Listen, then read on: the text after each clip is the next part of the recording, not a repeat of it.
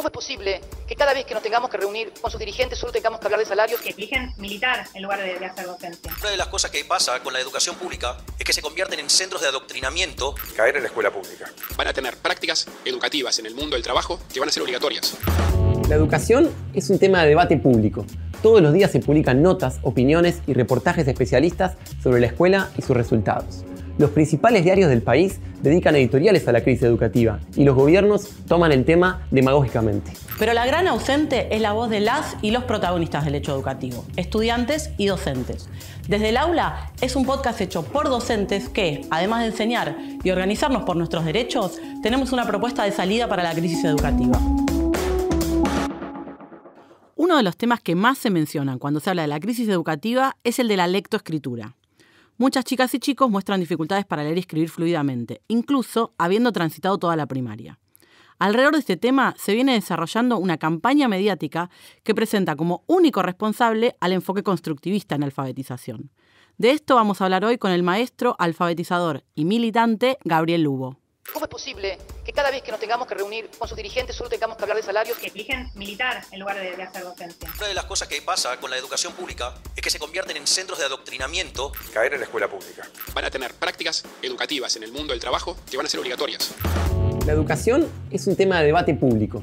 Todos los días se publican notas, opiniones y reportajes de especialistas sobre la escuela y sus resultados. Los principales diarios del país dedican editoriales a la crisis educativa y los gobiernos toman el tema demagógicamente. Pero la gran ausente es la voz de las y los protagonistas del hecho educativo, estudiantes y docentes. Desde el aula es un podcast hecho por docentes que, además de enseñar y organizarnos por nuestros derechos, tenemos una propuesta de salida para la crisis educativa. Hola Lu, ¿cómo estás?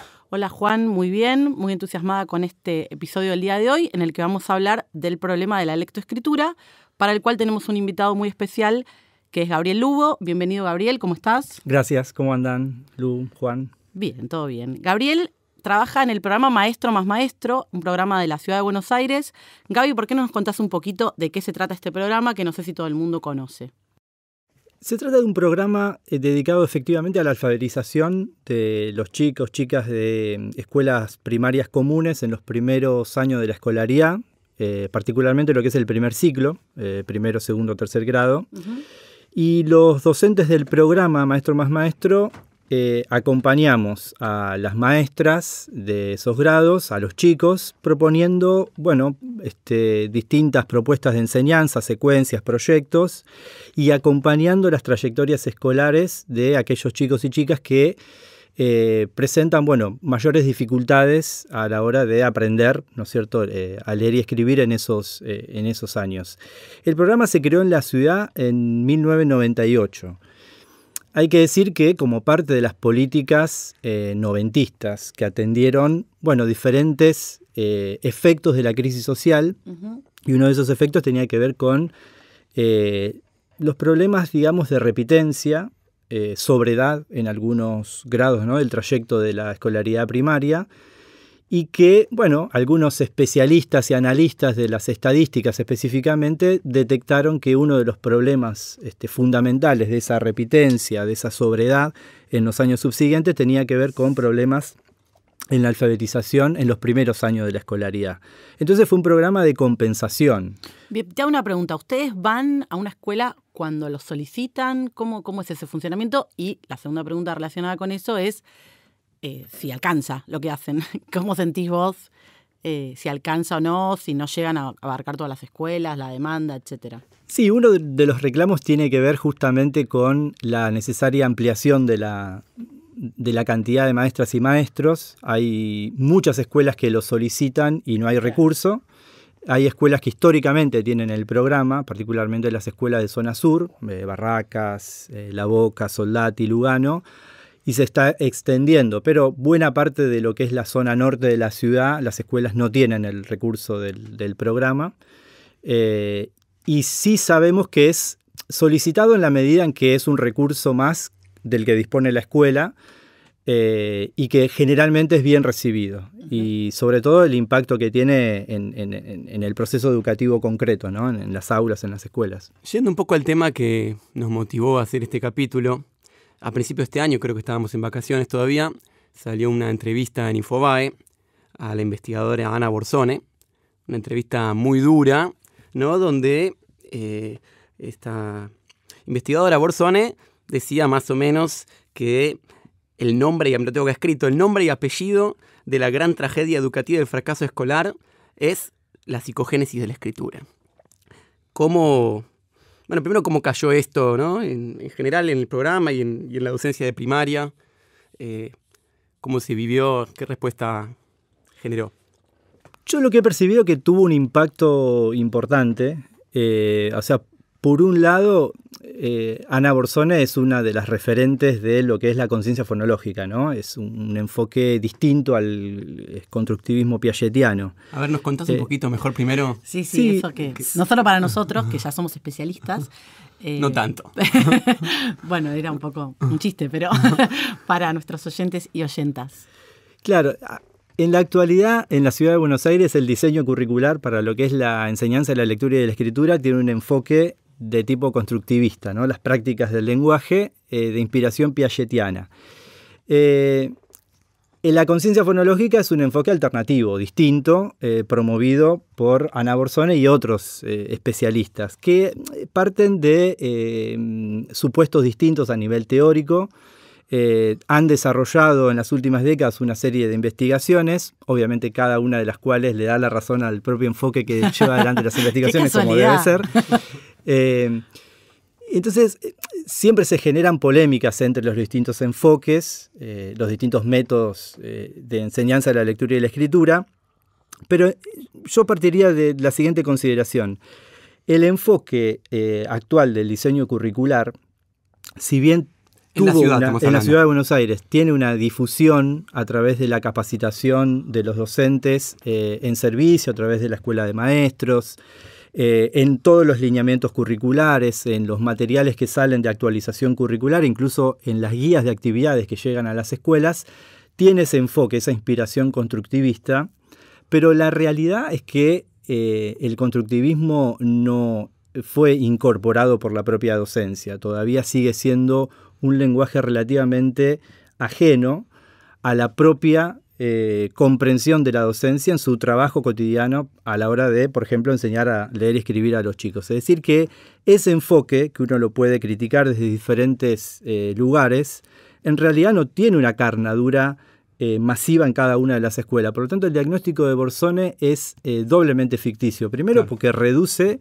todos los problemas educativos, en particular al enfoque, que es una variable dentro de muchas otras, pero además tampoco es que eh, las y los maestros de toda la ciudad de Buenos Aires, de todas las escuelas, de todos los grados, aplican eh, a pie juntilla lo que la inspiración piagetiana del diseño curricular prescribe. Eso eh, como, como, primer elemento, digamos, en relación a eso. Después que justamente como el constructivismo no es eh, algo tan este, instalado en la práctica docente, los dichos de Borsone en un sector de la docencia cayeron, diría, relativamente bien, en la medida que cuestionan algo que no se terminó de instalar y que la docencia siente como que se le impone desde afuera, un método o un enfoque ah, que viene desde afuera. Y, y en otro sector de la docencia cayó como un balde de agua fría porque implica eh, una negativización de la propia, del propio trabajo docente, ¿no? que uno se puede esforzar eh, convencido de determinada metodología de enseñanza, cuyos resultados no son lo que el docente espera, pero culpabilizar a la propia práctica de la enseñanza por esos resultados, eh, eso cayó muy mal. Además, planteos como que las escuelas son fábricas de disléxicos, ¿no? Y, cosas así muy negativas acerca de las escuelas, del trabajo Sí, sí, ya pensar que un disléxico se puede fabricar, ¿no? sí, eso fue la parte más fuerte, me parece, como lo presentaba Juan del artículo. Me entra la duda, porque vos hablabas del diseño curricular de la ciudad, pero a nivel nacional, ¿hay un lineamiento general para el tema de la alfabetización? Y si es así, ¿cuál es? Es la pregunta.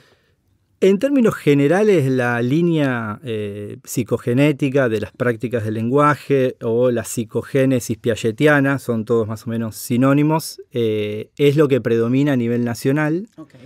pero hay una relativa autonomía en cada una de las jurisdicciones. Eh, por ejemplo, Ana Borsone es este, una asesora del Ministerio de Educación de la provincia de Mendoza. Es decir, cada jurisdicción puede este, elaborar sus propios materiales a nivel del currículo y a nivel de las propuestas concretas de enseñanza para las escuelas. Pero con esto, más allá de un enfoque u otro, me parece que el común denominador de ambos enfoques, ¿no? tanto del constructivismo como de la conciencia fonológica, son producciones eh, propias de los especialistas, ¿no? son dispositivos de intervención curricular en la medida que son diseñados por especialistas de afuera de las escuelas que se le impone a la docencia una determinada metodología de enseñanza, eh, partiendo de una negativización de las escuelas y de los saberes de los docentes, porque yo citaba lo de Ana Borsone, con que las escuelas hoy son fábricas de disléxicos, y Emilia Ferreiro, una referente histórica del constructivismo, en sus este, publicaciones, por ejemplo, de la década del 90, eh, también formulaba eh, cuestiones similares. Por ejemplo, que si la escuela tradicional seguía con esa metodología de enseñanza, iba a seguir fabricando analfabetos. Es decir, que uno y otro, de un lado de la grieta, eh, este término de fabricar analfabetos, fabricar disléxicos, parten de que el común denominador es que el docente no sabe enseñar porque no está preparado, porque la preparación de la enseñanza es una tarea de los especialistas, entonces tanto uno como otro lo que intentan es agenciarse en los ministerios de educación que los contrasten como especialistas para redactar los diseños curriculares y que esos diseños curriculares, prescriban la práctica, que no es algo tan natural, ¿no? porque la práctica tiene que ver con una cantidad de saberes y experiencias eh, yo soy partidario del docente como un intelectual que pueda diseñar su propia práctica de enseñanza, sus propias propuestas, en, comunión o en, diálogo con eh, sus compañeros de trabajo. Claro, ese es un tema que está un poco en el corazón de este podcast, ¿no? Nosotros lo dijimos en el primer capítulo, digamos, es algo eh, importante para nosotros, esta revalorización del docente como, como un trabajador, pero también como un creador, como un intelectual, como un elaborador. Eh, y bueno, ahí hay un tema eh, que me, eh, oportuno que traes, ¿no? No, y después una duda que, me surgía. Bueno, el otro día la propia ministra Cunha, la, la ministra de la Ciudad, colocó este tema, ¿no? Cuando fueron los resultados de las pruebas a aprender y, y la caída de los resultados en lengua, en práctica del lenguaje. ella salió en los medios atacando también como al método constructivista, al enfoque constructivista, como responsable de esto, y decía algo que, no sé, a mí me pareció eh, que valía la pena discutir, esta idea de que, bueno, el, enfoque constructivista puede ser que sirva en una, para un estudiante de una familia donde hay un cierto... contextos estimulantes. Claro, una, una, familia con libros, con un contexto rodeado de lectura, pero que es perjudicial para otros sectores más empobrecidos. ¿Hay algo de esto? ¿Qué pensás? Algunas críticas que yo considero progresivas y atendibles al constructivismo tienen que ver con, esa cuestión, que las prácticas sociales de lectura y escritura que se promueven como parte del enfoque, que es aquello que debería ocurrir en las aulas, en realidad parten de una concepción de lector y escritor propio de los sectores medios y altos de la sociedad con determinadas características, en general de medios urbanos, este, con acceso a ciertos niveles de cultura, eh, y que parten de ahí y que ese sería el sujeto lector y escritor eh, por excelencia a, a, los que tienen que eh, llegar todos. Y que hay una continuidad de cultura entre los hogares y la escuela para esos, esos, chicos de sectores medios y altos, y hay una ruptura de cultura entre los hogares de los chicos más este, empobrecidos con respecto a lo que se promueve en las escuelas. Pero las críticas por el lado de Acuña, por el lado de Borsone al, constructivismo, eh, son críticas que yo considero reaccionarias, porque eh, lo que promueven en última instancia no es solamente un enfoque eh, mejor para determinados sectores, que en todo caso se podría analizar, sino que es una idea de instalar una especie de neoconductismo muy vinculado con las neurociencias. ¿Y con qué eso choca?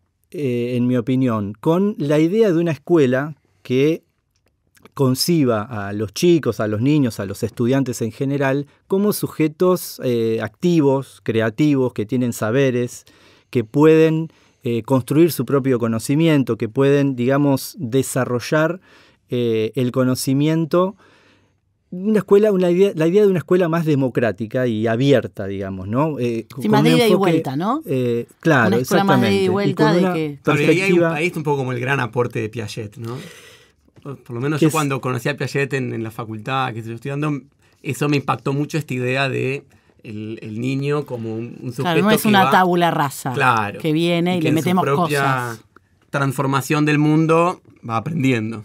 Porque eh, en un momento Piaget aportó elementos al movimiento escolanovista, ¿no? que implicaba una renovación del tradicionalismo escolar, y yo considero elementos progresivos ahí. La crítica actual al constructivismo, esta crítica actual, hay una crítica yo considero progresiva, pero esta crítica por el lado de eh, el intento de instalar la conciencia fonológica de esta manera, vinculado mucho más al cognitivismo que a, otro tipo de inspiración que puede ser más ligada al, a, a Vygotsky o al enfoque sociocultural, eh, implica una sistematización de la enseñanza como muy parecido a un entrenamiento. Porque ¿qué dice eh, en esencia Borsone? ¿Qué ¿Un sería entrenamiento tipo deportivo? un entrenamiento, tal cual. ¿Cómo hace el niño de escasos recursos que no tiene los estímulos necesarios según Acuña? Bueno, hay que ir a lo concreto. Tiene que entender que la palabra sopa está compuesta de s o a. Y eso hay que repetirlo todas las veces que sea necesario hasta que vincule grafema con eh, el fonema, Fonema. ¿no? Lo que se escribe con lo que suena y viceversa. Esa idea deja de lado completamente lo que tiene que ver con eh, que la lectura es eh, fundamentalmente comprensión, ¿no? que se puede alfabetizar siendo un lector activo y que leer y escribir puede formar parte de la cotidianidad del aula habiendo enseñanza sistemática de las letras, de las palabras, eh, de lo que sea necesario, pero en el marco de un contexto eh, que tenga un sentido, más allá de las partículas de, eh, de- de la que componen la- la- las palabras. Entonces, a mí me parece que parte de, de ciertas preocupaciones que circulan realmente en las escuelas, los chicos no aprenden o no aprenden al ritmo que eh, sería espera, necesario, que se espera. Eh, y eso es porque no se está enseñando bien o no se está enseñando de manera eh, sistemática y directa. Y es necesaria una eh, intervención más dirigida, ¿no? más concreto, más hacia el sistema. Entonces, esa intervención pública de Acuña y de Borsones yo considero que, que- que- calan en un sector justamente porque ahí hay un, un problema, una, una necesidad.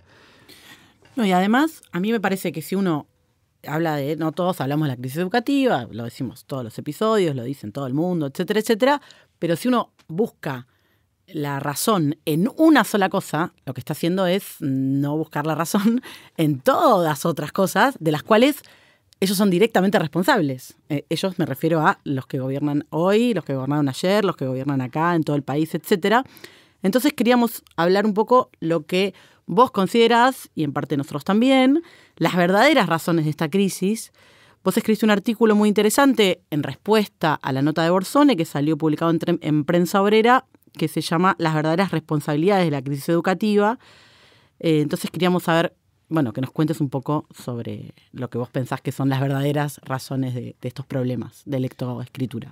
Sí, porque para eh, eh, considerar lo de Acuña, el gobierno actual de la ciudad de Buenos Aires, la misma eh, eh, organización política, ¿no? la misma eh, representación política, gobierna la ciudad desde 2008, ya con el mismo diseño curricular que fue aprobado en el transcurso del gobierno de Ibarra en la ciudad de Buenos Aires. Es decir, que hace ¿cuánto? 13 Ca- años. ca- tre- ca- 13, 14 años que esta fuerza política gobierna la ciudad y no llevaron adelante una reforma de los lineamientos curriculares, con lo cual después de 13 años se dan cuenta que en todo caso hay, que, hay un problema a nivel eh, o sea, si el curricular. problema Debería- fueran los lineamientos curriculares, también serían responsables Exactamente. ellos, claro. Totalmente. Son sus lineamientos Son curriculares. sus lineamientos curriculares y todas las actualizaciones curriculares que se llevaron adelante en los últimos años son de la propia gestión. Claro. Eh, entonces ahí ya hay una responsabilidad. Pero después, obviamente, es una, al mismo, eh, responsabilizar un enfoque por parte del gobierno implica desresponsabilizarse de alguna manera por las políticas educativas. Primero con todo lo que fue durante la pandemia, donde todos, me parece, la comunidad educativa vemos que hubo un problema, ¿no? Durante eh, las cuarentenas, durante la suspensión de clases, la falta de recursos, la falta de continuidad, digamos, de, los, de, las enseñanzas, de los aprendizajes durante ese tiempo, eh, y la falta de recursos por parte del, Estado. Pero además las condiciones eh, sociales, materiales en las que viven los alumnos y alumnas de la ciudad de Buenos Aires, eh, hay un, empobrecimiento de, las masas a nivel general. Hay una falta de eh, acceso a los recursos más básicos eh, para la sobrevida de las familias y eso tiene un impacto a nivel del, también del acceso a la cultura. No es lo mismo una situación en donde una familia, un chico de una familia tiene más o menos las condiciones de vida resueltas, y que pueden como parafraseando a Acuña, tener estímulos a nivel cultural que tiene que ver con el acceso a la cultura escrita, entre otras cuestiones. Sí, que muchas veces parece que tener tiempo, ¿no? También. Claro, es, perdón que interrumpa, pero está bueno porque marca que incluso si Acuña tuviera razón en, la reflexión sobre el método constructivista y a ¿no? También expone su propia responsabilidad en sostener a el 50% de los chicos en la pobreza. No decir que tampoco se podría desvincular de eso. Porque el conjunto del régimen político a nivel nacional, jurisdiccional, eh, tiene una responsabilidad por la situación eh, social, material, incluso simbólica, diríamos, cultural del conjunto de la población, que eso tiene un impacto a nivel educativo, es evidente, y eso influye también en los resultados, porque los resultados de las evaluaciones, en última instancia, a nivel nacional, eh, el gobierno de la ciudad eh, lo vinculó con el problema de haber suspendido las clases durante tanto tiempo, pero la ciudad suspendió menos tiempos durante la pandemia en las clases presenciales y los resultados no son mejores en lo que respecta a las pruebas eh, particulares de la ciudad de Buenos Aires. No, y además la ciudad, todo el tiempo que estuvieron suspendidas las clases, porque hubo un tiempo además que la ciudad estaba de acuerdo en la suspensión de clases, tampoco hizo nada para que esa suspensión fuera lo menos dañina posible. Es decir, lo que decía Gaby recién de la cuestión de los recursos. Eh, por ejemplo, bueno, todos los que nosotros tres estuvimos dando clases durante la pandemia. Yo, por ejemplo, tenía alumnos que en una sola, en una casa había un solo celular, por ejemplo, y, tenían que usar datos, no tenían wifi. El gobierno podría haber liberado internet para que sea usado de forma educativa, podría haber entregado dispositivos que no lo hizo. Es decir, la responsabilidad aparece por todos lados. Entonces, cuando ellos quieren centrarlo solamente en la cuestión del enfoque que como dijimos bien recién, también es responsabilidad de ellos, quieren desresponsabilizarse de una cantidad de cosas que ellos podrían haber hecho de otra manera. Incluso el estado de las escuelas, porque eh, en muchas escuelas lo que, eh, lo que es evidente que, hay es un, hay un problema a nivel edilicio ¿no? de la infraestructura en términos generales, que eso tiene un impacto. ¿En qué sentido? Primero, la falta de vacantes. Hay una cantidad, decenas de miles de chicas y chicos que hoy no están teniendo acceso a eh, la escolaridad, particularmente en el nivel inicial, pero eso también se replica en el nivel primario y nivel medio. En segundo lugar, la sobrepoblación de las aulas, eh, eh, el enorme crecimiento de la matrícula con respecto a la cantidad de docentes a cargo del aula. Y las dificultades que eso potencia, porque hay menos recursos docentes para atender a una mayor demanda y a una mayor cantidad de problemáticas. Claro. A lo cual se suma... Con más chicos, con más problemas. Exactamente. Y además eh, la falta de acompañamiento a nivel, si se quiere, profesional. Existen los equipos de orientación escolar con profesionales, eh, psicólogos, psicopedagogos, trabajadores sociales, que no dan abasto porque hay un equipo para todo un distrito escolar de alrededor de 20 escuelas, con una matrícula muy importante, que a veces es un profesional de cada eh, especialidad para atender a veintipico de escuelas de todo un distrito, inicial y primaria, eh, con lo cual el seguimiento se hace muy difícil. Obviamente son profesionales muy comprometidos que eligen trabajar de eso porque tienen, este, digamos, un aporte que hacer, conocen el, sistema educativo y conocen obviamente de su especialidad, pero que eh, evidentemente no dan abasto. Y después recursos que se han venido cortando en los últimos años. Eh, hace unos años existía el- el programa, lo pongo como ejemplo porque tiene que ver con eh, la lectura y la escritura. Sí. Leer para crecer. Era un programa donde a cada alumno de escuela pública le regalaban en el año al menos dos libros. Ah, En- bien. durante algún año fueron tres libros de literatura, eh, de circulación social, de, de- de- de- de editoriales que uno compraría.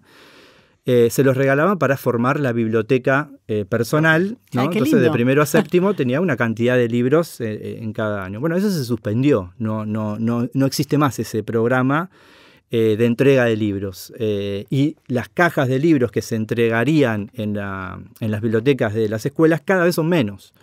Entonces ahí hay también un doble estándar, ¿no? O sea, por un lado se promueve supuestamente eh, reproducir o reconstruir las prácticas sociales de la lectura y la escritura que circulan en la sociedad dentro de las escuelas y particularmente para aquellos sectores más eh, vulnerables socialmente que no tienen por ahí el acceso desde sus hogares a esas prácticas de lectura y escritura, donde el libro es un elemento esencial. Y no le mandan eh, los Y no le mandan los libros. En alguna medida, como que cierra el propio discurso, ¿no? Porque finalmente el ataque a, a la psicogénesis y, esto que decías de, bueno, no se trata, se trata de repetir sopa, empalma con un ajuste material de, bueno, para voy a dar libros, si finalmente lo que se trata es de repetir mamá, mi mamá, eh, sistemáticamente, ¿no?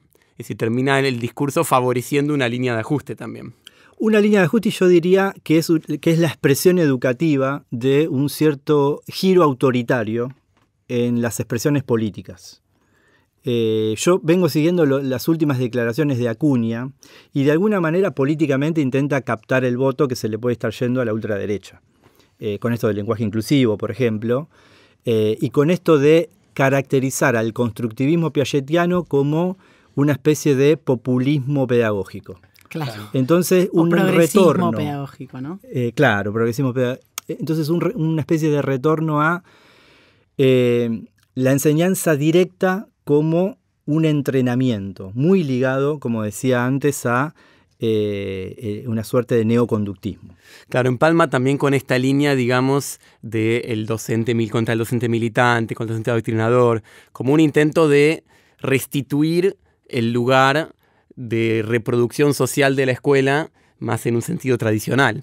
En todo sentido, no solamente ideológico, es decir, que el docente se abstenga de opinar, y en el mejor de los casos de pensar inclusive, pero incluso a nivel del trabajo docente, porque el docente se reduce a un aplicador, a un ejecutor de este, secuencias, proyectos, incluso guías de actividades. Armadas, como dijimos antes, por especialistas que no pisan a un aula quizás hace 20 años. Exacto. Y me interesa un tema, no sé si no está muy largo, pero que está justo eh, en, en debate en estos días en la ciudad, pero a nivel nacional, que tiene que ver con el alargamiento de la jornada escolar. ¿Cómo entra, digamos, e- ese problema? ¿Cómo lo ves en todo este contexto? En la ciudad de Buenos Aires, en principio, no se aplicaría lo de la extensión de la jornada, esto de la eh, resolución a nivel nacional, eh, porque la ciudad es una de las jurisdicciones que más escuelas de jornada completa tienen y Pero- las escuelas de jornada simple tienen jornada extendida. Pero, Pero lo que sí están haciendo es transformando simples en completas, ¿no? hay un intento de eh, transformar las jornadas simples en jornadas completas para aumentar la cantidad de, de jornadas completas. Sí. Eh, hay que decir que, al menos en la ciudad de Buenos Aires, la jornada completa en términos generales es eh, una demanda de las familias eh, que tiene que ver también con, con la extensión de la jornada laboral de, las propias eh, trabajadores de, las familias, ¿no? las familias de los chicos. eh, y la necesidad ¿no? de la ampliación del dispositivo escolar. Es decir, hay una preocupación más por la organización familiar en términos laborales de la extensión de la jornada que por una preocupación estrictamente Pedagógica. educativa, pedagógica, de que los chicos estén más para aprender eh, más en, en la escuela. Pero además, este problema de convertir la jornada simple en jornada completa le quita la posibilidad a las familias que necesitan o eligen para sus hijos una jornada simple porque en el transcurso de la semana pueden tener otro tipo de actividades, ¿no? Sea cual fuere eh, la actividad que realizan, es, es más difícil sostener actividades por fuera de la escolaridad si esta es jornada completa de manera más o menos eh, obligatoria, ¿no? porque en la medida que se cierran eh, las posibilidades de la jornada simple. Y eso afecta laboralmente, porque por ejemplo el programa Maestro más Maestro eh, solamente tenemos cargos de jornada simple. Si todas las escuelas o muchas escuelas pasan a jornada completa, los cargos se van a concentrar solo en el turno mañana de la jornada completa. No hay cargos de jornada completa de maestro más maestro ni de turno tarde en la jornada completa. Por lo tanto, por ejemplo, para mi escuela se pierde el, cargo de maestro más maestro y de aceleración, que es otro programa socioeducativo. Bueno, a menos que contraten más gente maestro más maestro, cosa que no parecía no creo que estén los planes, sino lo contrario. Pero como que uno, está bien lo de no, en el uno podría hacer un planteo de que la transformación a jornada completa vaya acompañada con una ampliación de cargos y los recursos necesarios eh, para que ande. Sí, una última cosa que se relaciona con esto que planteaba Juan de la extensión de la jornada, porque muchos docentes lo que planteaban es que atenta justamente contra que los docentes trabajan dos cargos. ¿no? Explicarle un poco a eh, quienes nos escuchan, que algunos son docentes y otros no, que no siempre fue así. Es decir, hoy en día el salario docente, eh, hablando de maestros y maestras, ¿no? De inicial y primaria, que tienen. ¿Cuántas horas son el, cargo? Yo soy de secundaria, por eso. Cuatro horas. Cuatro horas. Jornada simple. Bien, eso, jornada simple. antes, no sé hace cuánto, pero hace no mucho, quizá una jornada simple alcanzaba para vivir y uno, obviamente, dice, ah, pero trabaja cuatro horas nada más, ¿no? Como el famoso discurso de Cristina. Pero bueno, supuestamente uno en las otras cuatro horas tiene que preparar las clases, corregir, formarse, actualizarse. Hoy en día tenemos, calculo que masivamente, eh, maestros y maestras que trabajan dos cargos, es decir, ocho horas en la escuela con los chicos y las chicas, lo cual no deja un minuto para nada y encima les quieren poner una hora más a la mañana y una hora más a la tarde, ¿no? Si se extiende esto de, eh, si se extiende la jornada o el planteo este que surgió este año. Sí, porque eso atenta contra las condiciones laborales, como, como vos lo planteaste. Eh, pero en esto que decía Juan del Círculo, ¿no? ¿Para qué vamos a dar libros a los chicos si lo que tienen que aprender es que sopa es la suma de eh, la, cuatro fonemas? Los cuatro fonemas, exactamente. Eh, como los docentes tienen que trabajar dos o tres turnos, es necesario que los especialistas le elaboren todos los materiales para que se convierta solamente en un eh, ejecutor o aplicador de, eh, diseños de, enseñanza que ya están elaborados por fuera de, ellos mismos.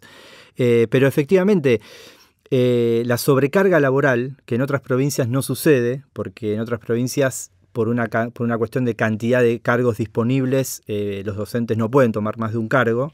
Entonces ahí el ajuste salarial suele generar mayores conflictividades. Claro, acá eso lo hablamos, creo, una vez. En la ciudad lo que pasa es que te pagan poco y que te, autoexplotas, te autoexplotas, agarras más horas. Porque el límite es el límite legal a nivel nacional, eh, a nivel general, digamos. Las horas... 72 horas cátedra, 48 horas reloj semanales.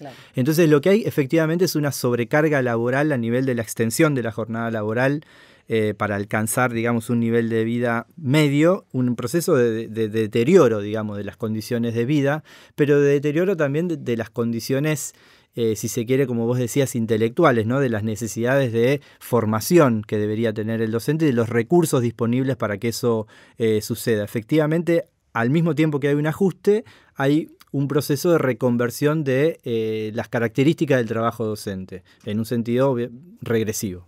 Claro, es decir, lo que vos decías recién me parece muy interesante, no lo había pensado así, esto de que eh, no tenés tiempo para formarte, no importa, porque no lo tenés que hacer vos, porque lo va a hacer un especialista que vos no lo sos y no importa lo que pasa en el aula, tu, tu expertise sobre lo que pasa en el aula no tiene ningún valor. Claro, es como una proletarización del trabajo docente en el peor sentido de la palabra, ¿no? Es decir, transformar esto en un trabajo rutinario, repetitivo, alienado, donde uno va, repite ocho horas, digamos, lo, lo que te bajan. Lo que escribió otro.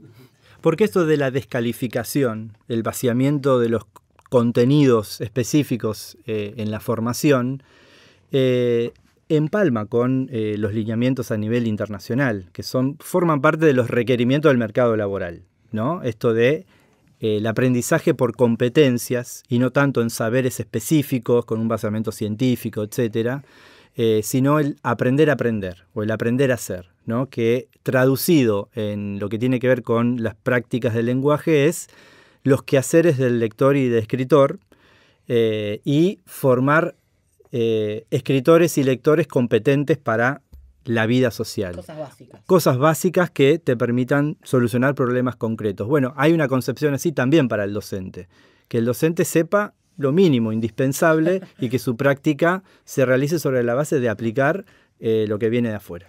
A ver, y una última, porque bueno, Gaby también tiene una larga militancia gremial en la ciudad, ahora es secretario de administración de ADEMIS. Eh, estaría bueno pensar también el otro aspecto, ¿no? Porque recién señalamos el aspecto negativo de la proletarización del trabajo docente, eh, cómo eso impacta en el sentido de la organización del gremio y de la pelea contra todas estas cuestiones. Sí, se, vive en lo cotidiano una situación eh, de mucho agobio eh, laboral en términos generales. El, ajuste al salario tiene un impacto muy negativo.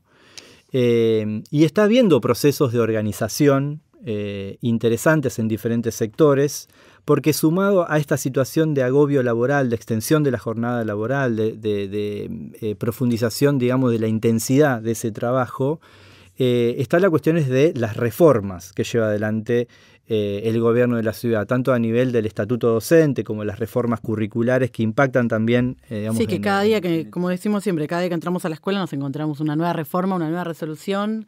Hay que estar 40 minutos diarios dedicarlos simplemente a leer resoluciones y reformas. Totalmente. Entonces hay una cantidad de frentes que se le presentan a la docencia como elementos fuertemente disruptivos de su propio trabajo. Eso está generando eh, la necesidad, eh, pienso, de eh, bueno, abrir un proceso de organización de escuelas por escuela. Tenemos el desafío también como sindicato desde ADEMIS de impulsar elecciones de delegados en cada una de las escuelas como parte de un proceso organizativo del gremio, ¿no? en tanto que trabajadores de la educación organizándonos para reclamar cuestiones que tienen que ver con nuestras condiciones laborales, salariales, pero también por todo lo que venimos discutiendo de cuestiones que tienen que ver con eh, los aspectos pedagógicos o educativos en general. ¿no? Las defensas de las condiciones laborales docentes forman parte de, la, defensa de la educación, totalmente. Sí. Bueno, con esto podemos ir cerrando, ¿no? Así que bueno, muchas gracias Gaby por venir. Quizá en el futuro te volvemos a invitar. Sí, porque fue todo interesantísimo. Así que bueno, aprendimos mucho. Aprendimos mucho. Nos vemos la próxima. Desde el aula es un podcast de Tribuna Docente y Prensa Obrera. La idea original, el guion y las voces son de Luciana Alterleib y Juan Winograd. La grabación es de Adolfo Schmidt en Estudio Juli Records, edición y postproducción de José Araoz. La dirección es de Tamara Dawi y la producción general de Iván Zeta. Suscríbete y activa las notificaciones de Prensa Obrera. Si querés contactarte con nosotros, te recomendamos escribirnos a nuestro mail desde.